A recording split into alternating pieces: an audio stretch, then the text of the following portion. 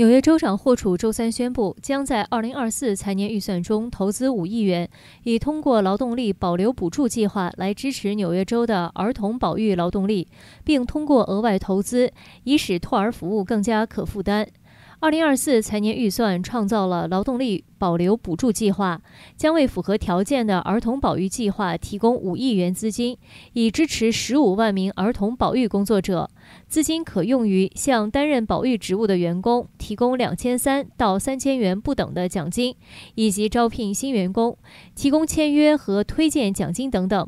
霍楚说：“对本预算中的儿童保育投资感到自豪。”这些投资将使家庭更容易获得保育服务，增加劳动力，形容是为纽约州的未来支付首期付款。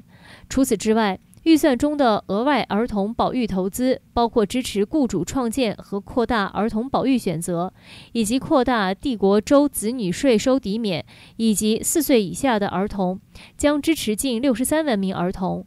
州儿童和家庭服务办公室代理专员古斯塔夫说：“这些有针对性的投资和改革将有助于发展和支持儿童保育劳动力，鼓励雇主与家庭一起努力，确保儿童保育服务。劳动力保留补助计划的申请将于七月十三日开放。”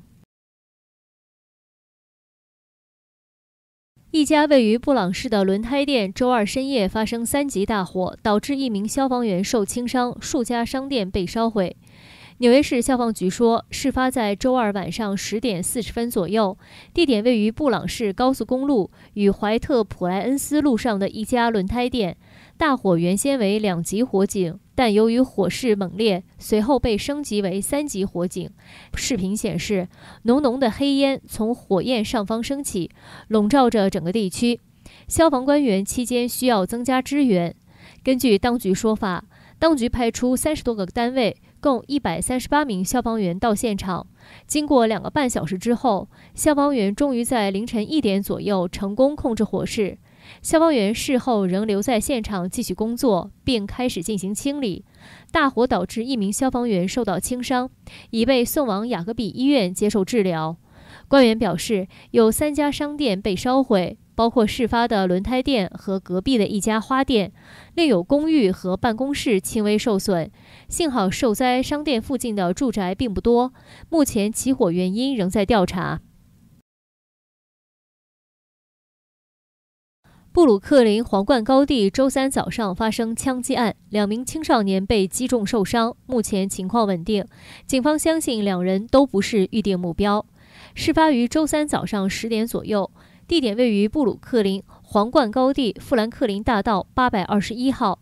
纽约市警官员说，一名男子据称向预定目标开枪，但没有击中，反而击中了两名无辜青少年。警方相信两人都不是预定目标。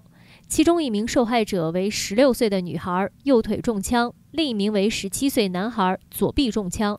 两人均被送往国王县医院接受治疗，目前情况稳定。两名嫌疑人事发后在东大路上向东徒步逃离现场。根据目击者说法，两名嫌疑人为深色皮肤男性，约只有十多岁。其中一人身穿黑色衣服，上身为一件黑色连帽衫。另一人则身穿红色连帽运动衫和灰色牛仔裤。目前还不清楚是两名嫌疑人中的哪一个为枪手。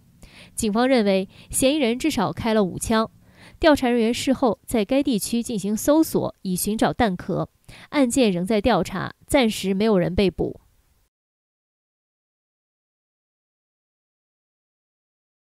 负责监管雷克斯岛的联邦监察员日前发布一份报告，提及发生在雷克斯岛的五宗事件新的细节，并批评市惩教署未能保护被拘留者安全及向监督小组报告。在提交给联邦法院的一份特别报告中，联邦监察员马丁就五月份雷克斯岛中发生的五宗事件，将矛头对准了市惩教专员莫莉娜。马丁认为，相关事件代表了一个更大的趋势。该报告批评市府官员未能妥善调查惩教人员使用致命武力的行为，并忽视提供紧急医疗的服务。马丁指，市惩教署似乎违反了旨在保护被拘留者安全的法院命令。又指责该部门不愿提供有关事件的信息。过去两周内发生的五宗事件中，包括一名被拘留者跳楼自杀身亡。报告指，市惩教署未能在二十四小时之内向监督小组报告。其他数宗事件则涉及被拘留者与他人发生争执后受重伤或者瘫痪。另有一名可能有认知障碍的八十岁被拘留者被单独关在没有洗手间的监狱中长达四个小时。在一份声明中，莫莉娜没有提及报告中的事件，但声称自她2022年1月上任以来，该部门多个方面，如安全、工作人员旷工、培训、雇佣和被拘留者出庭的交通都有所改善。